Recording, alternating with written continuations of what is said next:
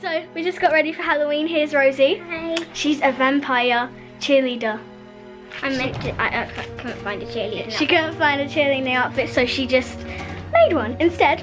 But we just got ready, and this is the aftermath of the bedroom. Because we couldn't, like, I couldn't find anything to wear. I could find my outfit, but I couldn't find any shoes to wear. So now I'm just tracking, trying to work out what shoes to wear. oh, bless you. okay, so we'll see you when we're trick-or-treating. Bye.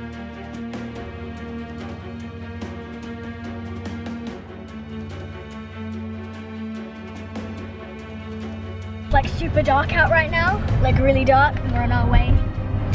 We just turned a light on so it's So- not like that. Wait, home. let's show you what it's like when we turn out. It's not that dark because there's lights in front of us, like road lights, but when there's none, it's pretty dark. We're so excited. We have our buckets. We're gonna go. Buckets, you know, buckets. It's gonna be pitch black. And nails are literally so long. Look at them. And they're shiny, they're so cool. They're- they're- Okay, so we're getting out of the car now, and we're quite scared. So we can see a house over there that's like lit up, so probably gonna go to that one. Guys, we think we can see clowns, we're really scared. They're like looking, they look really strange. Run!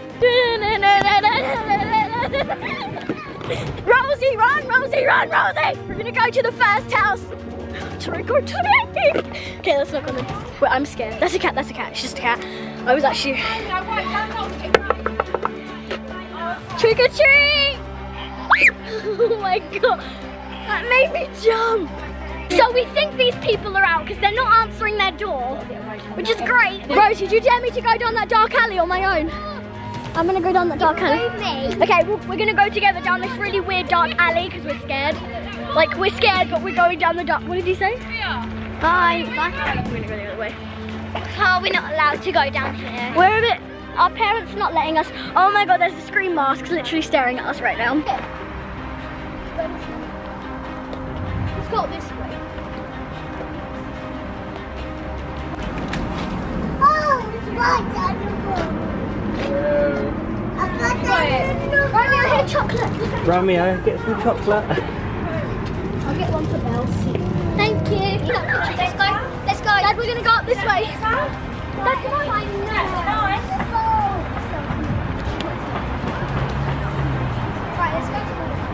my nan and granddad live here, so me and Rosie are gonna go knock at their door because they'll give us extra candy. Put some lights on their pathway. We came to see Poppy. She's so cute. Look at her paws. Look at Look those. how sharp that claw is there. Literally, her short, her claws are so sharp. She needs to get them like cut. I don't know if people cut animals now. I think they do cut animals. now. Wait, is my Belle, are you a witch?